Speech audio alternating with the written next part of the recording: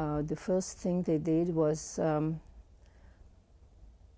they gave a um, they told us to turn in all our all the gold, all the silver, all the furs. Uh, they took away from us, and um,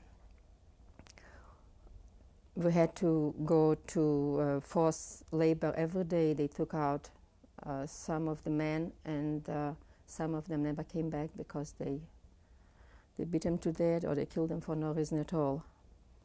Um, one incident was my father didn't show up one day to work, and two policemen came and they took him and they kept him there for several days. And they tortured him and they begged him to be killed. And they said, No, we'll send you back so the others will know what it is if you don't abide by our laws. That was the beginning.